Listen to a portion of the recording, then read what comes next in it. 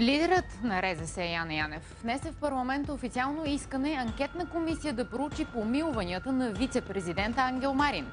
Под искането за създаване на комисията са се подписали 60 депутати, сред които и от ГЕРБ. Вие сте с код Криминално, аз съм Марията Николаева. Добър вечер! Въпреки предупрежденията на полицията, кражбите на коли с включен двигател не само не намаляват, а дори се увеличават. Само вчера трима собственици са се разделили с луксозните си коли в различни райони на София. Автомобилите били оставени с включен двигател и без надзор, буквално за по-малко от 5 минути. Тази вечер в Код Криминално ще видите какво показаха последните експертизи, как е убита Мирослава. Ден преди момичето да бъде погребано, гост в студиото, адвокатът на почерненото семейство. Делото срещу Петрички Ескобар отново не тръгна. Огняна Танасов е обвинен, че е лидер на наркогрупа, пренасила кокаин в Гърция. Намериха в чужбина изчезналата ученичка Каролин. Колко от обявените за издирване българи биват намирани в чужбина или остават завинаги в графата безследно изчезнали? Отговорът е от криминална полиция в студиото на Код Криминално. Писмо с 10 въпроса изпрати лидерът на ДСБ Иван Костов до анкетната комисия за полицейското насилие и за убийството на Мирослава. Според Костов, пернишката общественост знае отговора на повечето от въпросите и ги задава, за да се увери, че Народното събрание е в състояние да брани интересите на обществото. Въпросите на Костов са Бил ли е Стойчо Стоев сътрудник на някои от службите на МВР? Защо му е разрешено да ползва оръжие след като е бил осъждан за умишлено криминално престъпление? Защо след издаването на заповедта за задържането му не е било иззето оръжието? Да бъдат изслушани поемните лица и присъствалите на местопроизшествието журналисти, за да се изясни дали огледът на жилището на Стоев е извършен по реда на наказателно-процесуалния кодекс. Защо след като е заподозрян за участие в умъртвяването на Мирослава Николова, Стойчо Стоев не е разпитан пред съдия? По силата на кой нормативен акт разпитът на Стоев е направен при условията на СРС и има ли записът доказателствена стойност пред съда? Колко случая на изнудване има в България, при който обектът на рекет няма кръвна или роднинска връзка с похитеното лице? В колко от известните до сега случаи жертвата е била умъртвена непосредствено след отвличането? Съдията при гледане на мярката за неотклонение на Марио Любенов заявява, че върху един от пликовете с писма за искане на откуп има отпечатък, който не е на Стоев, нито на Любенов. На кого принадлежи този отпечатък? Ако комисията не започне да работи или не даде резултати, сините ще предложат на останалите опозиционни партии контракомисия, която да потърси отговора на всичките тези и други въпроси.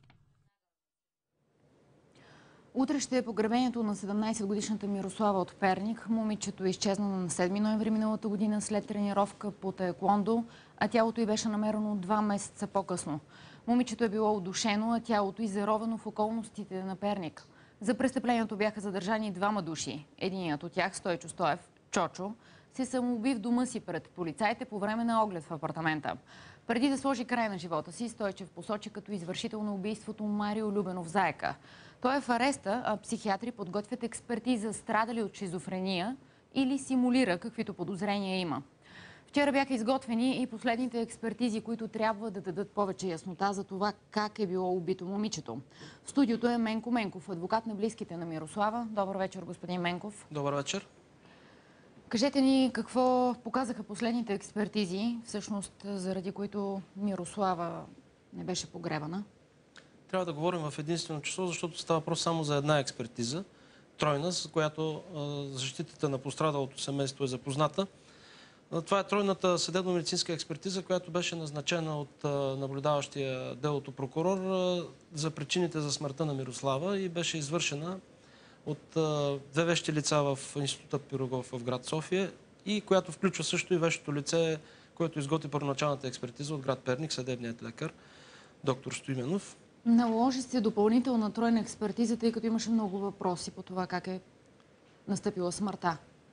Всъщност това не е нещо необичайно и е добре винаги да се назначава една такава допълнителна експертиза, тъй като следствие на огромния интерес в обществото, първоначалната експертиза е изготвена доста прибързано и дори желанието на съдебния лекар от град Перник, доктор Стоименов, е било да се извърши допълнително изследване с участие и на други вещи лица, за да може да няма съмнение за заключенията, които той е дал в първоначалната експертиза. Така какво установи тройната експертиза? На тройната Как е експертиза била убита Мирослава? категорично установява, че Мирослава е била уби- убита чрез задушаване, механична асфикция. Била е удушена. Била е удушена. Това е казано просто категоричното заключение на тройната съдебно-медицинска експертиза. Била ли е бита? Уврежданията, които са получени от Мирослава при живе, според съдебните лекари не водят до извода, че тя е била малтретирана и бита, а че са получени единствено и само според тях по време на така нареченото удушаване и са следствие или на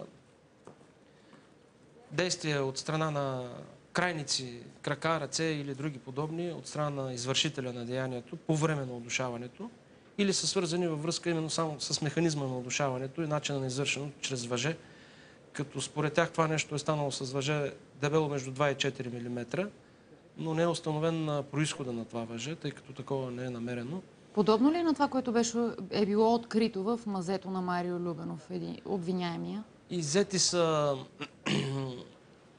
Иззета е тъкан от Мирослава при извършената реаутопсия, с която разследващите ще назначат нова трасологична експертиза. Предполагам, че тя ще бъде назначена или в областната дирекция в Перник, или най-вероятно в а, НИКК в София, за да може да се установи дали от материята, с която е извършено удушаването, било то въже от метал, от плат, от други видове подобни, може да се установи идентично с намерените други веществени доказателства в заподозрените извършители. Нещо в, кър... в кръвта и дали е било открито някакви Не, опойващи вещества, дали е категорично, било категорично в кръвта и в тялото не са открити вещества, които да са извън нормалните, които се намират в човешкото тяло, от рода на стимуланти, отрови, Да. наркотични вещества и други подобни. Информациите за сексуално насилие също бяха отхвърлени. Не е Категорично са отхвърлени от тройната съдебно-медицинска експертиза.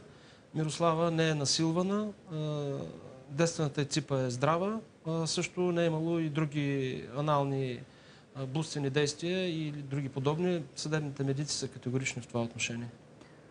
Как ще коментирате разследването по този случай? На мен не се иска винаги, когато се коментира едно такова разследване, да не оставяме някакъв политически или друг привкус от действията на разследващите, защото Да, проблема е, че се политизира случая, но пък и много... най-много страдат а, пострадалите или наследниците на пострадалите от подобен вид а, заигравки, ако мога така да ги нарека, с политически привкус. За вас има ли е, въпроси, които не получиха отговор по време на разследването? Изключително много въпроси има. Какви са те? Нека Кое не ви е пак- ясно на вас? На нас, а, от гледна точка И на близките на Мирослава? на данните, с които разполагаме, не ни е ясно абсолютно нищо до този момент, освен съдържанието на експертизата и причините за смъртта на Мирослава. От тук нататък въпросите, които си задават близките на Мирослава и ние като повереници, които все още не сме стъпили официално в процеса, тъй като знаете, че наказателно-процесуалният кодекс е ограничен в това отношение. На, на досъдебното производство можем само да искаме да бъдем информирани за хода на производството. Дори не могат да ни дават и материали от... Да, вие казахте, че ви държат на дистанция разследващите. Сега, а, ние не се чувстваме обидени от това, доколкото това е в интерес на разследването, с оглед да не изтича информация към евентуални други заподозрени, защото знаете, че а, съществуват данни, включително и от определението на съдебния състав, че има и други участници, не само тези двамата, които до момента прокуратурата и полицията са посочили като Да, иска да ви питам установени. точно за отпечатъка от трети човек, който е открит. Нямаме информация дали е извършена дактилоскопна експертиза и дали, ако тя е извършена, разбира се, ако такава експертиза е извършена, в националната база данни, която Министерството на вътрешните работи разполага, несъмнено, ако това лице е регистрирано по някакъв начин в системата на МВР, то неминуемо с съвременните средства за извършване на дактило- дактилоскопни експертизи веднага ще бъде установено. Вероятно ще заведете и граждански иск срещу единствения за сега обвиняем Марио Любенов. Да, категорично, разбира се, в един съдебен процес ще се конституираме като частни обвинители. Ако разбира се се установи, че той не страда от шизофрения, тъй като ако страда от това тежко заболяване, той не може да понесе Очевидно, че няма да може да, да носи наказателна отговорност, ако е така. Ако прокуратурата, вещите лица преценят, че могат да го изправят пред съд и само той не установят и други извършители, не привлекат и тях към наказателна отговорност, разбира се, че ще предявим граждански иск. Кое най-много ви очуда в този случай, който така стана доста доби обществена публичност и несъмнено имаше и, може би, грешки в разследването, буксуваше известно време. А, Вие като не юрист, само в този случай, смятате? във всички такива подобни случаи, мен ме очудва изключителната а, така невъзможност на разследващите и прокуратурата да бъдат оставени да работят по закон и в интерес на пострадалите, за да установят обективната истина. Целта винаги, с която тези хора са притискани да работят, е по-бързо да покажем някакъв резултат пред обществото, за да може обществото да е доволно, че постигаме някакви резултати. А, Жертвите на престъпленията страдат най-много от това нещо, защото реалните пострадали са те. А дивидендите от успехите или неуспехите на дадено разследване винаги се а, ползват от политиците в една или друга посока. Но жертвите от престъпленията нямат нужда от това нещо. Те имат нужда разследващите, полицията и прокуратурата да бъдат оставени да работят самостоятелно и спокойно, без политически и обществен натиск, за по-бързи резултати, за да могат да дадат по-качествен резултат. Такъв е и настоящия случай, защото първоначалната съдебно-медицинска експертиза е изготвена дори без дата и без да е приключила аутопсията на трупа.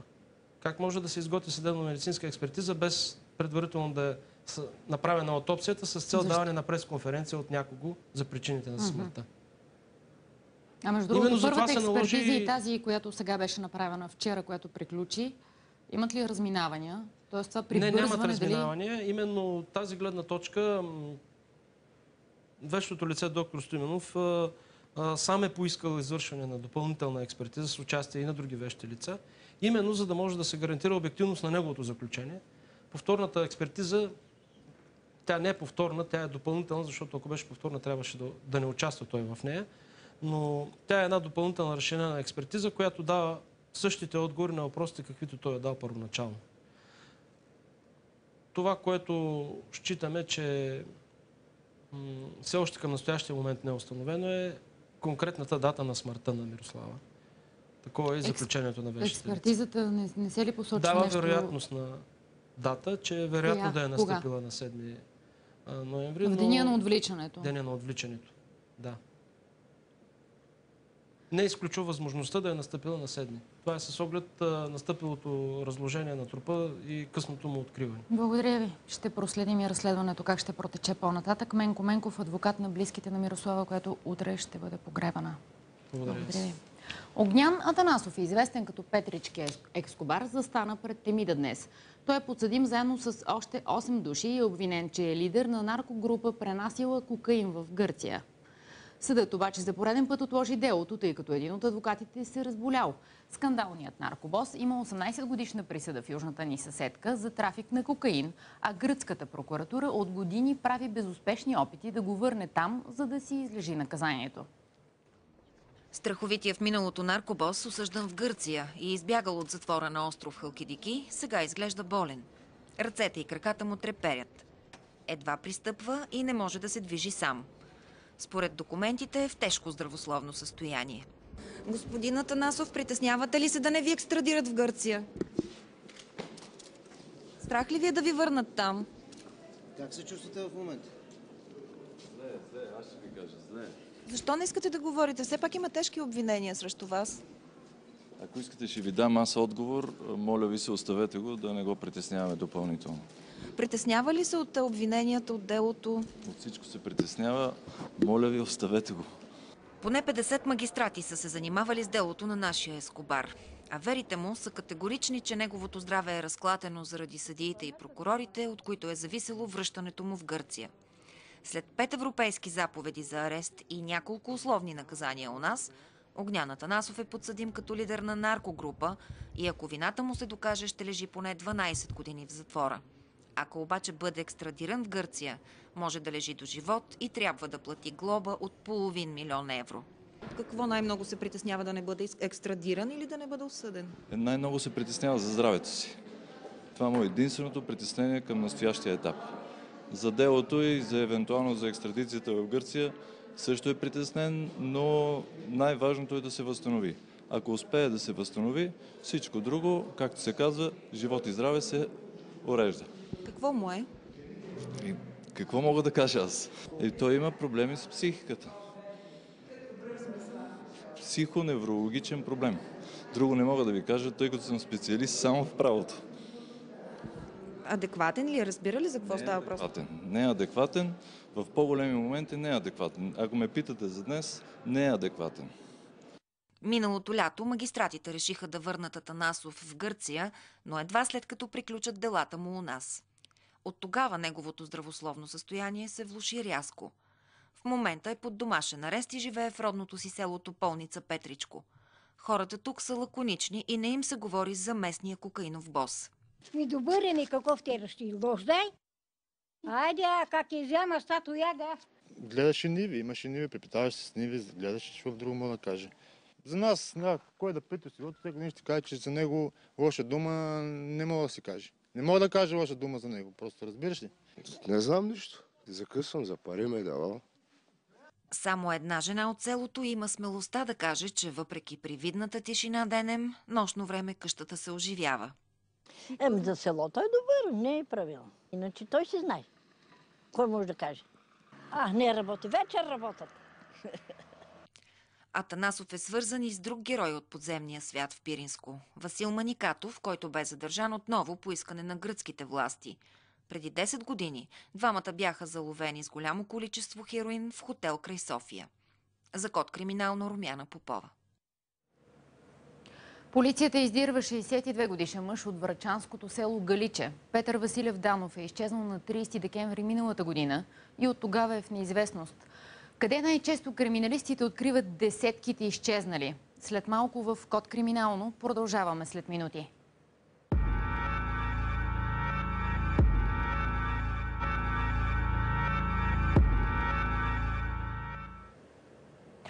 Къде е 18-годишната Каролина от врачанското село Руска Бяла? Момичето напусна дома си на 9 януари, в последствие бе обявено за национално издирване. Имаше съмнение, че е станала жертва на незаконен канал за трафик на хора и е изведена принудително от страната. Преди дни полицията обяви, че момичето е живо и се чувства добре. Намира се в Германия, но не желая да се върне при близките си. Още за този случай, който е с благоприятна развръзка на фона на завършилите фатално напоследък случай на отвличане от кореспондентите ни от Враца. Историята на Каролин не е типичното огледало за живота на българското дете. За период от две години момичето губи последователно и двамата си родители. Първо майка си, а след това баща си. Каролин остава с две сестри и брат, който и е настойник. До лятото младежът живеел с нея в село Руска Бяла, но когато навършила пълнолетие се изнесъл. Девойката останала с Войчо си в семейната къща и преживявала със социалната пенсия и стипендията от училището. Разполагала месечно с 200 лева. Изкарала зимната вакансия при сестра си в София, върнала се, но на другия ден изчезнала. Съседите я видели да напуска дома си спокойна. Я вземаха с кола и доброволно се качи. Не принудително. Това видяхте за последно. Да, да, да. В какво настроение беше? Ми добре си беше. Нищо не е. Говорихте ли нещо? Не, не, не. Тя не се обади изобщо. Не ни каза довиждане ни нещо. Аз мисля, че отиват някъде на заведение или нещо. Или... Съмненията, че момичето е отведено принудително в Гърция с цел проституция, витаеха в продължение на дни, но в крайна сметка не се оправдаха. Официалната информация от първи този месец, че е жива, чувства се добре и наистина се намира в чужбина, до някъде успокои духовете. В училището на Каролин днес разбрали от полицията, че 11-класничката е в Германия. Очакват а, от германската полиция сведения за разпит, в който тя е посочила причината за изчезването. Властите обаче не могат да върнат принудително Каролин в България, защото е пълнолетна и сама решава съдбата си. Не е дете, което да изглежда занемарено. Това, че е била при едната си сестра, другата е дошла да я види в неделята, това означава, че са проявявали интерес към това какво става с нея и грижи. В обяснението пред полицията обаче момичето обяснило, че си тръгнало, защото било подложено на системен физически и психически тормоз. Макар безработен и едва свързващ двата края, Войчото, с когото Каролин до последно живеела, категорично отхвърля обвиненията за каквото и да било насилие. Еви селото да, да видим дали някой я тормозил или... Не сме разбрали тук, не е се оплаквала нищо. И в училището се съмняват, че истинската причина Каролин да замине е тормоз от страна на близките. Това не е съвсем така. Може би нейн аргумент да замине на някъде. Тя би трябвало да завърши образованието си. Не мисля, че е нормално в днешното време, когато има такава криза за трудови, за работни места, едно дете в 11 ти клас да напусне училище и да решава само съдбата си. Защо според теб е заминала? Не знам. Защото може би от свободия. С кого и защо си е тръгнала Каролин и дали наистина го е направила по своя воля, както за сега самата тя твърди, те първа ще се изяснява. За код криминално от Враца Маргарита Стефанова. Как се търсят изчезналите хора у нас и колко от обявените за издирване българи биват намирани в чужбина или остават завинаги в графата безследно изчезнали? Захари Стоянов, началник на сектор издирване в криминална полиция е в студиото. Добър вечер, господин Стоянов. вечер. Колко души се издирват в момента?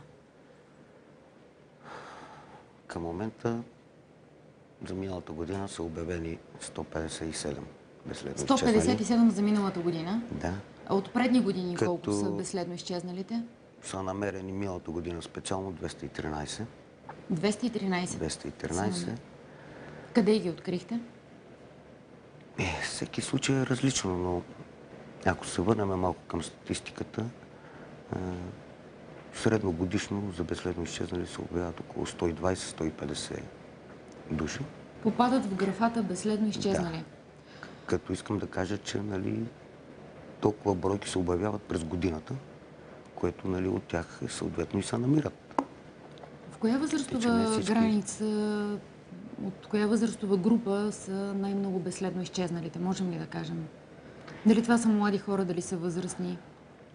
Значи, по-големия брой е над 69 годишни, които са като безследно хора. изчезнали. Да, възрастни хора. Напоследък сякаш, След това градират между 30 и 40. Напо- напоследък сякаш зачистиха случаите на млади хора, които изчезват. Например, Да, не мога да кажа така баш напоследък, но ами прави впечатление, четейки прави впечатление, може би от това, а така, което издирват е подадено към медиите. Но това не значи, че това е цялата... Вероятно.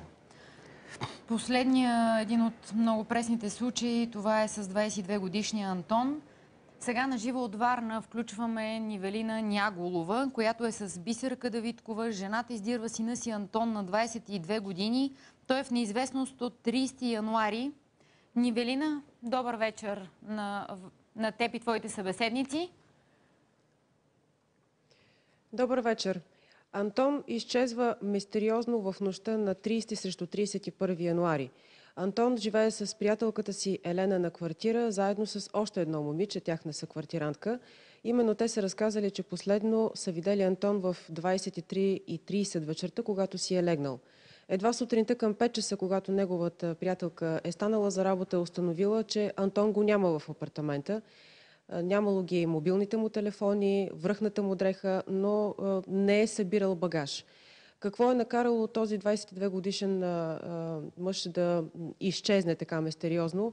Това те първа полицията ще изяснява. Сега тук до мен е майката на Антон, Бисерка Давидкова. Здравейте! Какво направихте вие в, а, веднага след като разбрахте на 31 януари, че сина ви е изчезнал? Еми, първото, което направих е да попитам приятелката му дали не са си карали нещо, което Елена отрече. Оттам около обяд на 31 подадох сигнал в а, първорайонно управление на МВР град Варна, че синът ми е изчезнал. Оттам а, господата ме опътиха, че трябва да минат 24 часа, за да могат нали, да го дадат а, за издирване, нали, че трябва да отида на другия ден да го дам за, нали, като мина 24 часа, да го дадем нали, за издирване, което и направихме. Вие лично къде се звъняхте? Потърсихте ли контакт с негови приятели, за да разберете повече? Ами, да, значи звънях при приятелите му, на които имах телефони, да, в скайп, в фейсбук, нали, мрежата, на всичките си роднини и познати, а, на двете ми сестри каза се, че никой няма информация, никой не го е чувал и до този момент нямаме абсолютно никаква връзка с него. А, вие близки ли сте с него? Поддържате ли контакти? Какъв човек е той? Има ли вероятност да се е забъркал в нещо и това да е повода за неговото изчезване? Значи близки сме аз и моите сестри. Ако не е на мене, ще каже нали, на лелите си къде ще ходи, какво е намислил, нали, ако има някакъв проблем, ще го сподели с някоя от нас. А, Антон е кротък, никога до сега се не е забърквал в нищо. Просто нямам никакви сведения, че той може да се е забъркал в някакви нечисти неща, което не го е правил никога. Вие на 30 през деня сте го видяли. Последно стори ли ви се притеснен за нещо? Не, не ми се стори притеснен. Видяхме се за около 15-20 минути. Каза, че се прибира вкъщи, че си има работа, което по-късно към 21.30 се чухме и той ме обеща, че на другия ден ще дойде нали, при мене. И от тогава нямам никаква връзка с него. От момента, в който той е изчезнал, някой свързвал ли се с вас да иска пари откуп? Не, никой не се е свързвал до този момент. Единствено с мене говорят само приятели, познати, роднините ни, които постоянно поддържаме контакт, приятелката му и полицията. Вие познавате най-добре своя син. Имате ли някакво обяснение какво може да го е накарало да излезе посред нощ и да изчезне? Не, нямам такова обяснение и си задавам въпрос, но не мога да намеря отговор. Нямам такова обяснение какво може да се е случило, за да излезне посред нощ. Добре, аз ви благодаря за този разговор и ви пожелавам успех. А, Да разбра, както разбрахте, 22 годишният Антон е изчезнал на 30 срещу 31 януари и полицията работи по неговото издирване. Невелина, благодаря ти за това включване. Господин Стоянов, каква информация имате за Антон от Варна? Сега, в какъв смисъл информация? Колегите работят До момента дали сте установили По- нещо? в този случай. Установяват се приятели на Антон. Провеждат се разговори с близки и роднини. Приятелите му Сега- какво ви разказаха? Имайте предвид, че може би за първи път така сега го казвам, но във всеки един случай на безследно изчезнало лице, полицайите се докосват до много лични работи и до много неща, които може би не са хубаво да стават публично достояние. Не коментирам този случай, говоря по принцип.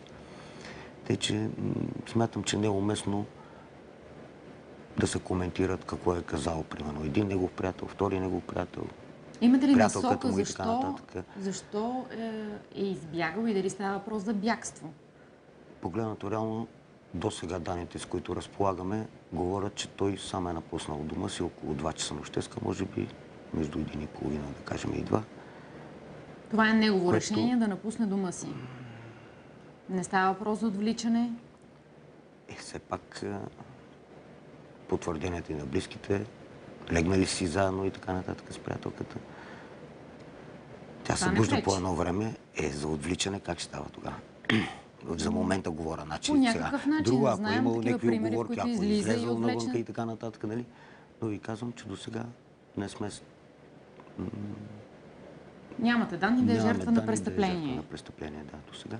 Сега ви предлагам Което да видим още един случай. Роднини и приятели търсят информация и за изчезналия на 9 януари Илиан Филипов. Той е на 30 години. Сега включваме Венелина Григорова. При нея са Биляна Петрова и Мартин Янчев, близки на изчезналия мъж. Вени, добър вечер. Добър вечер, здравейте. Бързам да се обърна веднага с въпроси към близките на Илиан. Здравейте. Добър вечер. Кажете ни, първо разкажете ни за Илиан. Ами аз познавам Илян от много малък. Той е много добър, много усмихнат човек, обикновен човек, много отзивчив, много социален човек, има много приятели.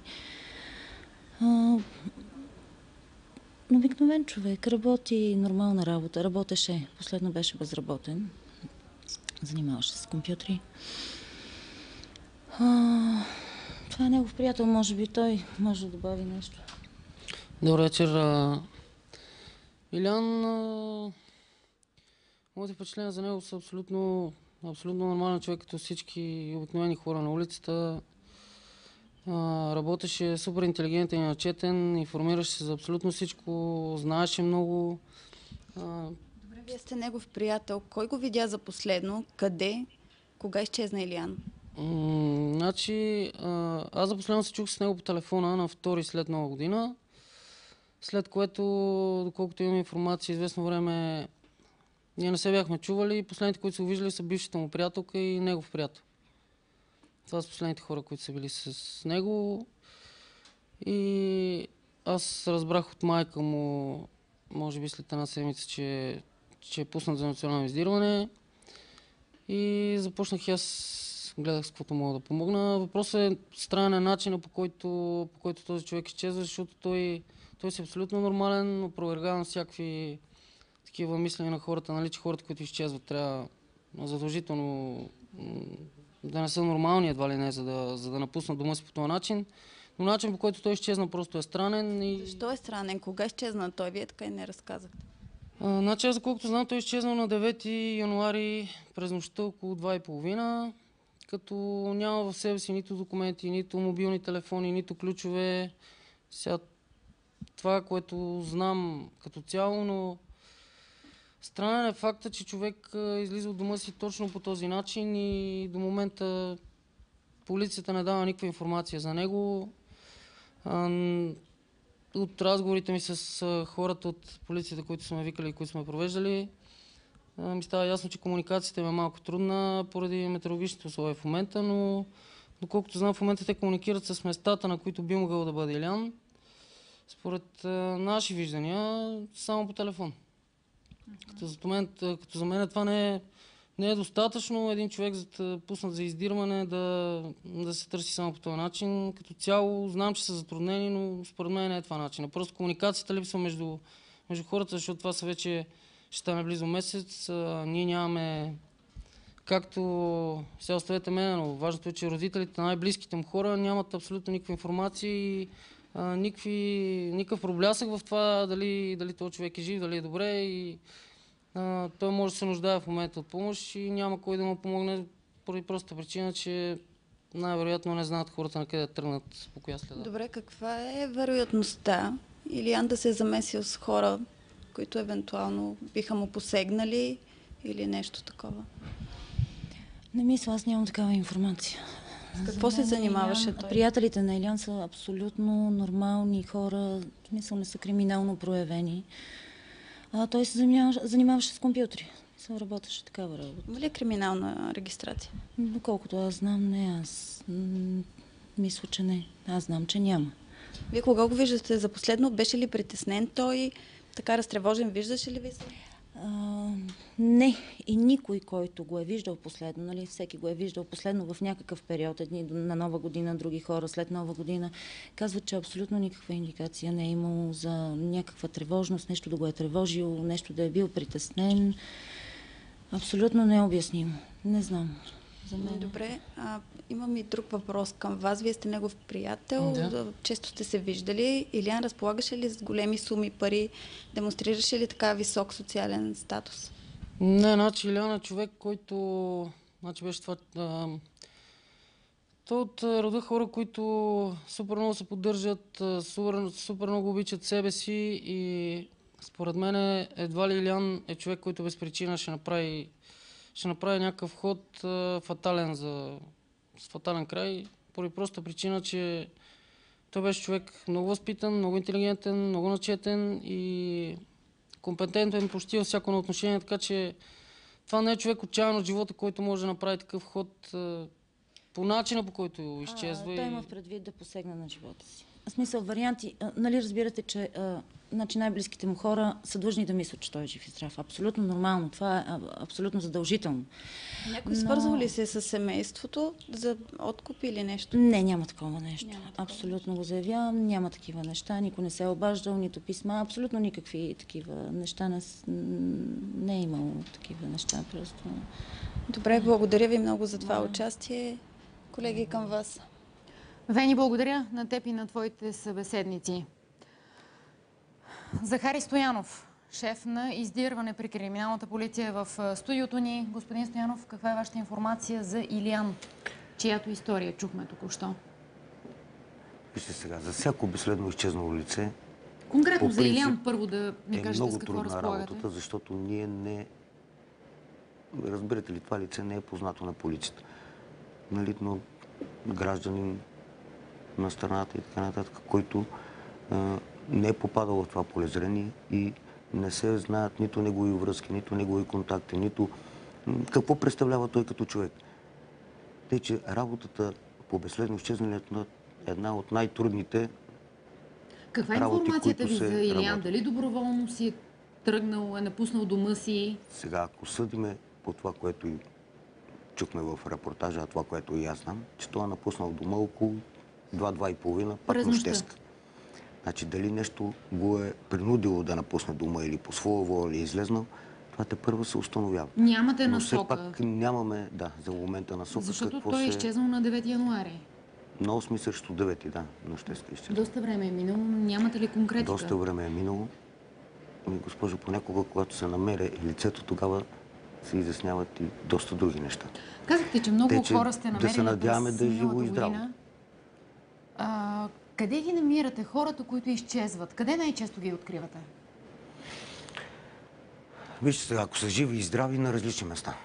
Имали Например? сме хора, които сме откривали, са решили да сменят попрището примерно и от човек като Илян, нали, с неговата структура, да кажем, с неговия а, години. Неговата нали, неговата професия, възраст. негово- Не професия, не говоря за професия. Примерно сме ги намирали като пазалили се горе за овчари в планината и така нататък. Работят там, не искат да комуникират с други хора. Не говоря за него, нали? Говоря просто по Как така? Изведнъж човек се събужда и решава да сложи край на живота си до сега и да започне Да, наново. Да. Оставя Или всичко, нещо го е огорчило документи, телефони, всичко нататък. остава и се откъсва просто. Е, сега в този случай не е баш така, че е оставил всичко. Не говорим, нали? Говорим по принцип. Да. По принцип за хората, говорим, които да. ги откривате. Да, да, да. Къде сте ги намирали, казвате? Ми имали сме случаи, когато казвам, го намираме и в планината. Пазарил се е за овчар. При раз... Защо го е различни- направил? Защото Разочаровани по сте? един или друг начин е решил да прекъсне този начин на живот или един вид да прекъсне комуникацията с близките по една или други причини. Тези случаи вероятно са малко.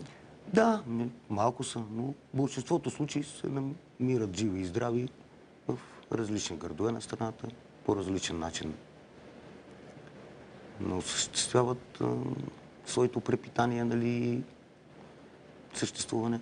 В колко от случаите обаче се оказват тези хора жертва на престъпление? Не случайно питам, предвид Мирослава, за която също в началото ще ви се, кажа, но- се смяташе, че е Може отишла би- зад граница и че си пие коктейлите. А се оказа... Сега Съвсем равно, различно. В един казус всичко се смята и всичко, по всичко се работи и се изчиства. Нали? Те, че когато а, полицията постигне някакви резултати, може тогава да каже да, тая версия не е възможна, защото еди какво си, еди що си, или тая версия е възможна. Така, е разкажете възможна, ни е други, други случаи, освен, че хората решават да сменят начина си на живот. Е, сега има и случаи с фатален край, както го казваме, които безследно изчезналите са обект на криминално престъпление и ако вземем така предвид последните случаи от края на миналата година и в началото на тази Да, година, имаше доста изчезнали, които се оказаха жертва на погледнете, че престъпление, предимно близките, близките са виновни за това нещо. Даже случая от? Враца, защо така ли се оказа? Вие, нали, също сте Че по били принцип със служителката от НАП, примерно, вижте как е ситуацията. Защо е изчезнала тази жена? Тъй, че не мога да кажа, че всеки, примерно, тези случаи са така, у нея са... Всеки случай е сам за себе си. Имате и случаи, в които за хората изчезването заминават е зад граница и започват да... Спомням си, че имаше такъв случай. Ако не ме лъжа памета, след 11 години издирване, разкажете ни го този случай. Да. Бяхте открили мъж, който Примерно, беше... айде, той, нали, оказа се, когато човек е установен, че имало е основателна причина нали, да се покрива. Същия с много задължения нали, към финансови институции или граждани. Те, че Това е бил мотива му съда. Колко души са в графа безследно изчезнали и от години няма информация за тях? Към сегашния момент са около 830 души. Колко? 830. 830. Какво предполагате, че се е случило с тези хора? Еми, някои са, казвам, тази цифра е 20 годишна назад с натрупване. Значи някои има, които са обявени преди 5 дена, някои, които са обявени нали, преди 10 дена. По тези случаи още се работи.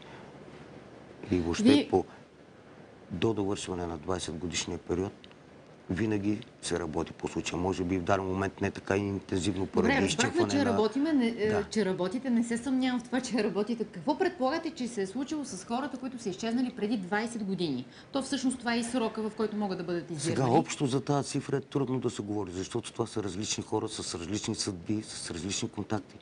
Дали са жертва на престъпление и някъде са убити и са погребани? 100% има такива.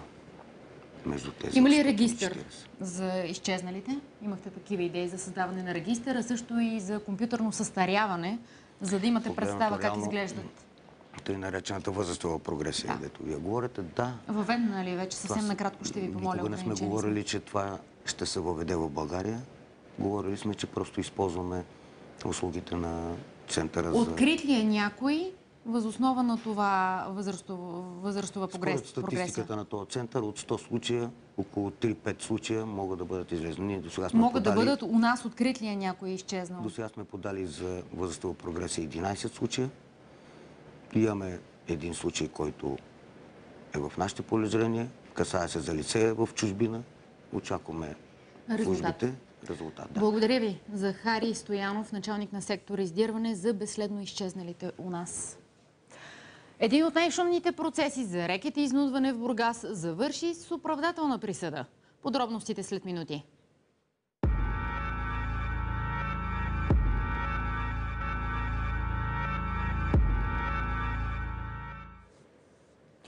Един от най-шумните процеси за рекет и изнудване в Бургас завърши с оправдателна присъда. Семейство от Свети Влас не успя да убеди съдиите, че след години системен тормоз е загубило пететажната си къща с ресторант в центъра на курорта. Обвиненият в рекет Георги Тумпалов по прякор Тумпала обаче спаси замъка си край Созопол, възбранен от бившата комисия Кушлев заради делото. След пледуарии продължили два дни, съдът прецени, че няма доказателства за рекет и оправда Тумпалов, който от обвиняем се превърна в жертва. Ако дадеш пари на някого, това не е престъпление. Но ако си ги поискаш, ставаш 100% престъпник. Този човек ми нанесе невероятни морални и материални щети. Тумпалов се закани да съди семейството, обвинило го в рекет, ако не му се извини публично. Историята на Васил Петров от Свети Влас звучи така. През 98 той взима 9000 долара на заем от бизнесмена Сашо Сълков, баща на певицата Сантра, за ремонт на ресторанта си. Оговорили се да му ги върне след края на сезона, като си разделят и печалбата. Малко след това започнал рекета от Тумпала, на когото се оказало, че трябва да връща парите. При това с лихви. Вместо 9000 иска 12500 и аз го питах защо така, нали? Аз не съм вземал от тебе така сума. Той каза, че лихвите са много големи. Заплаши ме, нали, че ще ми случи нещо лошо, че ще ме убие, нали, че ще ме заколи, че запали ресторанта, семейство ще ми погуби така. След около две седмици пристига вече, обаче ми казва, нали, вече ми дължиш 25 000 долара. С заплахи Тумпалов принудил Васил да подпише запис на заповед, че му дължи парите.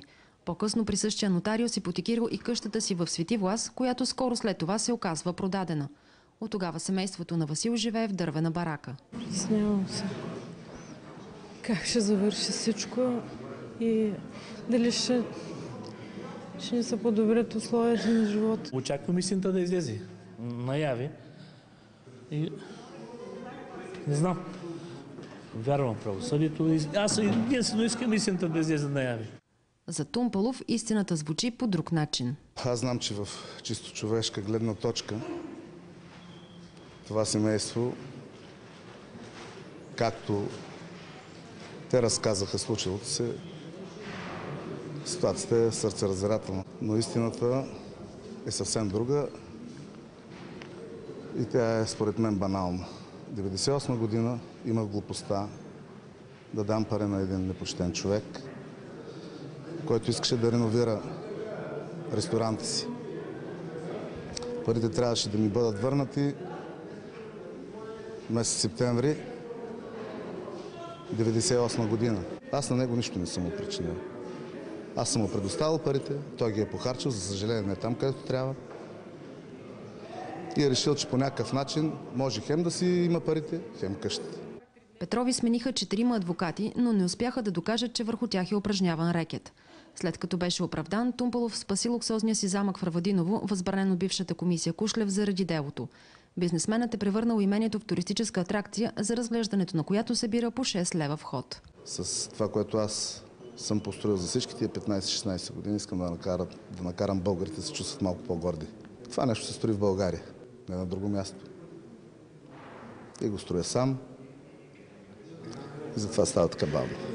А финансово как намирате средствата? Камъните съм добивал сам в планината, сам съм строил и при мен схемата е била, като имам 5 лева, ги вкарвам в замък, като няма. Не сте взимали от други хора? Не, нито стотинка. Тумпалов казва, че е спечелил парите си честно. През 90-те е продал на банка наследствен имот, за който получил около 1 милион долара. После започнал да прави услуги, като раздавал пари, доброволно. Ако бяхте се явили като служител на НАП, щях да ви покажа как. Но вие да сте само журналисти. Направили съм всички ревизии, всичко съм доказал. Присъдата може да бъде обжалвана в 15-дневен срок. Ако и апелативният съд прецени, че рекет няма, възбранените имоти на Тумпалов подлежат на данъчна ревизия. Ако НАП установи несъответствие в доходите му, срещу бизнесмена може да започне друго дело – за пране на пари. Практиката обаче показва, че такива дела рядко завършват с отнемане на имущество. За код криминално от Бургас, Лора Стаматис. Така се разделяме. Очакваме вашите сигнали на електронната ни поща. От екипа ни спокойна вечер и приятни почивни дни.